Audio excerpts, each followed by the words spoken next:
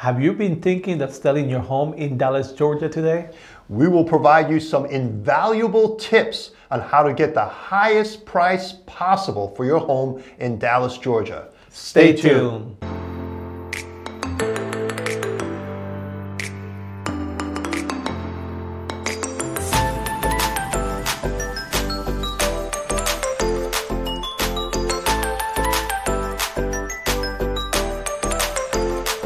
Hello everybody, this is Gamalier, broker realtor with Sturgis Realty Group. And I'm Alan Rios. I'm the realtor with Sturgis Realty Group here in Metro Atlanta.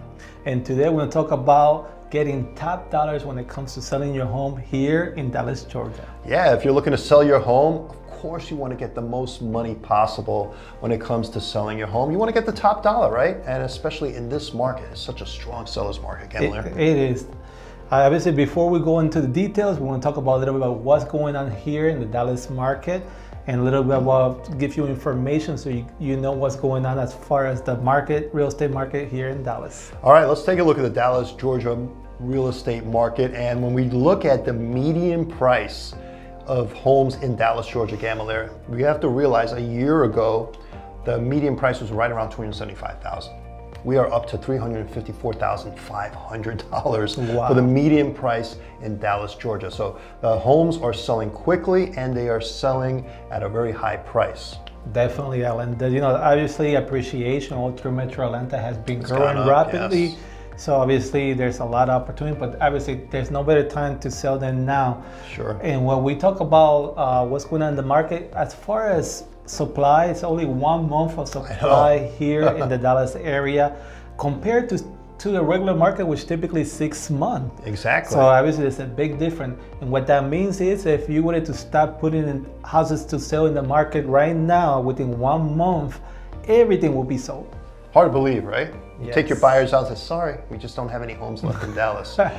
But, you know, with the market evolving, I mean, we're hoping that by the summer, we're gonna start to see more homes come on the market. But the way it is right now, we have a low supply of homes, and that's leading to, you know, supply and demand issues here. Mm, yeah, definitely. Uh, as, as of right now, we're only averaging seven days in the market, so yep. obviously everything is selling pretty rapidly. Exactly. All right, let's talk about some of the common mistakes that sellers make when it comes to, you know, selling that house for the highest price possible. And obviously, we have to talk about, we have to consider, obviously, price and condition when we talk about yes, that. Yes, yeah. Price and condition is huge. If you have a house that is in great condition, obviously you're going to get a great price. But if you haven't been maintaining your home and just kind of letting it go, the price value for your house is definitely going to be on the lower end. And when we look at that, obviously we got to look at some people that typically would do a little bit of repairs, yep. some people that do too much of repair, right? Sure, sure. So there's obviously a balance and obviously a realtor like ourselves, professional realtor will walk through the property and let you know what are the things that you should be doing and what are the things that get you the highest return on the property. Exactly. And with this hot sellers market, mm-hmm. we're also seeing a lot of people trying to sell it on their own. They say, I can be a realtor and put their house on the market versus using a professional realtor like Gamalier and myself when it comes to selling your house. And I'll tell you what, a lot of them having success, and that's yeah. not surprising because the market is heavily, there's a lot of buyers out there. Sure. But what they don't take in consideration is that even if you could sell it yourself, you will end up needing a lot less than using a professional realtor because of the minimum exposure you're giving to the property. A lot of for sale by owner, what they're doing is they put a sign in front of the property, they may put it on one website, but that's about it for the most part.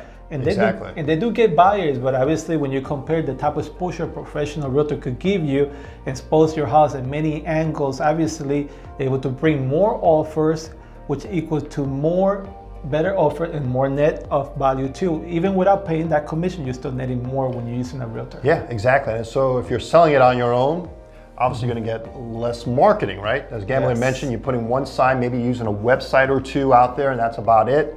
That's going to attract less buyers which is less offers and you're gonna net less money in your pocket compared to using a professional experienced realtor. Yeah, so obviously there's a big difference, obviously, and that again, uh, you know, when you use a professional realtor, there's a lot of details that go behind the scene, and they give you a lot of exposure, obviously. Exactly. That's what you need to make your house stand out, and you want to put your house in front of a larger crowd, a larger audience of buyers that are actually qualified buyers that are looking to buy a house. But now, Alan, you know, there's a question that we get oh, all oh the time, all the time, and yeah. that question is how to make your house stand out. How do we do that, Alan? Yeah, well, there are two things that can make your house stand out. That's the condition of the house and then the marketing. And well, the condition of the house is maintained by the owner, right, of the house. Correct, yes. And then the marketing is, is where we come in. Yes, that's our expertise. Yeah. And obviously, when it comes to the condition, uh, we help counsel the seller a little bit, let them know what, what are the things that we mentioned earlier that you could do to get the most money, what are the things that you should not be focusing. But obviously, there's things and tips that you could do, and we're going to be talking about some of those items. Yeah, so when it comes to condition of your home, you want to make sure you declutter. Take a look at this picture of this home here, just a mess. you do not want to walk into a room like that. Um, because I mean, for the buyer coming in, and we, as we mentioned in past videos, you know, we deal with a lot of first-time home buyers. They'll come in and they'll take a look at that, and it's not very attractive to them. And obviously, uh, when you're dealing with first-time buyers, which are the majority of the market right now buying, yeah. what happens is when they look at a repair, they start counting it. And unfortunately, they never bought a home, they never owned a home, so they don't know the value or the cost of those repairs. So a lot of times, something that may cost $500, they may think it costs $5,000, $3,000 yeah. to do, and they keep adding the math, and then they get overwhelmed, and they say, oh, I don't want to put, this is too much in repair, which is, a lot of times it's little things in the property. Exactly, and you want to have great curb appeal, right? That's so when the buyer and realtor drive up to the house, you want the buyer's reaction to be, wow, look at this beautiful home. So you want to make sure that you know you got the grass cut, you know your gutters are cleaned, you know, so things like that and can make your house stand out in the neighborhood. And a little also one of the things is power wash makes a oh, huge yes. difference. And when you power wash, obviously you want to power wash the driveway, you want to power wash the house, and also power the wash walkway the driveway too. And the walkway, yeah. Yes. And you want to make sure you got that taken care of because it can make a world of difference, especially when you have, you know, the, the concrete out kind of moldy and mildewy. Mm-hmm. It's amazing what it will look like once you get a power wash. It looks like brand new concrete. And we talk about obviously condition. We have to talk about buyers and what the buyer, what the buyers worst things when they walk into a property, oh things that they don't like. Yeah, so I, I can explain this one based on experience. You know, taking a buyer out, open up the door, and as soon as you walk in, the air hits you in the face, and it's like, whoo, they want to walk out. And I had a buyer walk out. The smell was just that bad, you know, and it could be for many reasons. That's very important. Obviously, when you're selling a home, and, uh, and we're not talking about very, you know, sometimes it could be animal smell, musty smell, you know, smoke smell is another sure. one a lot of people smoke don't realize the smell the, yeah. of the smoke. Uh, obviously, those are very important when you're selling a house. Yeah. Uh, make the house smells well, and obviously another thing, obviously, it's a home that is like I mentioned earlier, clutter and yeah. dirty also. Dirty is another one, yeah. Um, you know, walking into a home and maybe you got just clothes laid out on the floor. You walk into the kitchen, there's a pile of dishes mm-hmm. that were left behind from last night's dinner. Things like that, you know, bathroom is just disheveled. You just have bottles of shampoo and towels on the floor, things like that you can take care of. Simple things like that that will add value to your house. Yeah, so obviously that we talked about condition is important when you're selling yeah. a home. And that would obviously, there's a lot of people that, that decide, okay, I'm just, don't want to do anything. I want to yeah. sell it as is. Yes, you could sell it as is, obviously, but obviously condition and price work with each other. And if it's not such a great condition you're selling as is, then obviously the price would you get a lot less offers and a lot yeah. less money. So you definitely want to take that in consideration. But the biggest part when selling a home obviously has to be the marketing. Yeah, so when it comes to marketing, that's where we come in, right? The owner is responsible for the condition of the house we're responsible for marketing your house. And one of the big things about marketing your house is making sure that we have professional pictures, right? Yes. Versus using, say, just like a typical camera, like a, a camera phone, and just taking snapshots through the house. Using a professional photographer, they're gonna really make your house stand out. They've got a wide angle lens. They also have they can make your room look much brighter too, right? Yes, and obviously, uh, we're one thing when selling a home is we, we pay attention to. We're very detail oriented yes. company and very tech company too. So very important when it comes to selling a home. You know, a lot of people nowadays are looking online, so they're looking at pictures. They're looking at going to different websites. Sure. And most people look online when it comes to buying a home. If they don't see the right picture, then they're just gonna skip it and go to the yeah. next home. So pictures are very, very, very important. But obviously, there's a lot of other things that happen that yeah. are important also. Exactly, and we also provide video, right? I mean, you're yes. watching us on the YouTube channel, the Sturgis mm-hmm. Realty Group YouTube channel. So we do provide videos uh, to social networks as well. So yes. we've got social media that we really dominate. Yeah, when it comes to online, obviously we'll, we'll place your property everywhere online and sure. not, we dispose the property not only local but also statewide national wide and sure. international marketing also. So we post your house everywhere, but we also work with relocation companies, companies that they're relocating from all around. Uh, right now, we have a lot of people coming from California, New York, coming to Georgia. So we make yeah. sure those people get to see your home. And but when it comes to the marketing online, we definitely are very techy and we get the high exposure. Yeah, and we also use that MLS system as well. So we make sure that the house is shown to other realtors who have well qualified buyers that they're working with to show your home. So that is another avenue. And as well, negotiating, Gamalier, when it comes to making sure you net the most amount of money, how important is negotiating?